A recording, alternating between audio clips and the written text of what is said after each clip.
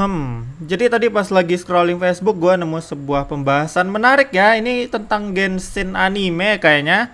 Jadi ada rumor di mana mengabarkan kalau Genshin anime itu akan menceritakan tentang Archon War katanya, ngebahas Archon War.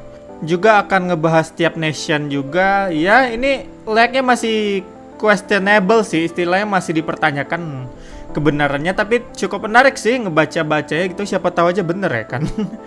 Jadi dikabarkan info ini didapatkan dari marketing departemennya ah, yang ngurus animenya ya. Jadi katanya timelinenya sebelum Aether sama Lumine datang ke Teyvat ya.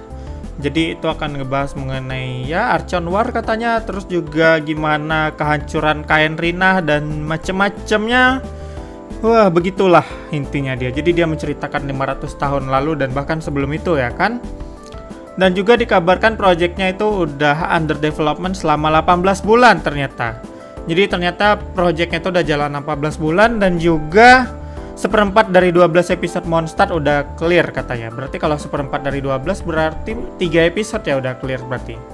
Ya di sini dituliskan plotnya sangat menarik dan bikin lo semakin pengen nonton dan pengen nonton gitu. Jadi ya gua rasa make sense sih soalnya kita juga memang sangat pengen tahu apa yang terjadi di masa lalu Tefat ya kan? Gimana perangnya Kain Rina itu penghancurannya terus Archon War dan gimana lah itu berakhir ya kan? Sampai nanti si kembar datang ke dunia Tefat kayak yang ditunjukin di PV gitu.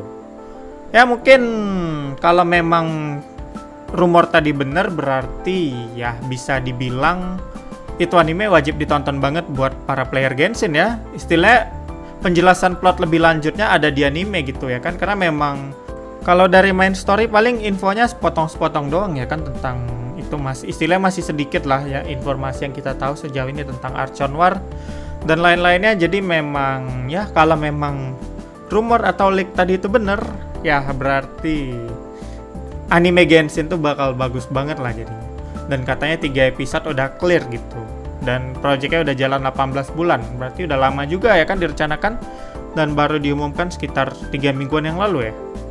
Jadi ya gue rasa sangat menarik untuk uh, ini ke depannya ya. Nanti mungkin kalau ada info lebih lanjut gimana atau kapan animenya tayang dan lain-lain akan gue kabarin lagi. Tapi buat sekarang ya ini masih sekedar rumor, jangan terlalu dibawa serius. Anggap aja sebagai nambah pengetahuan aja dan kalau memang bener ya bagus ya kan. Kalau memang rumornya salah ya udah.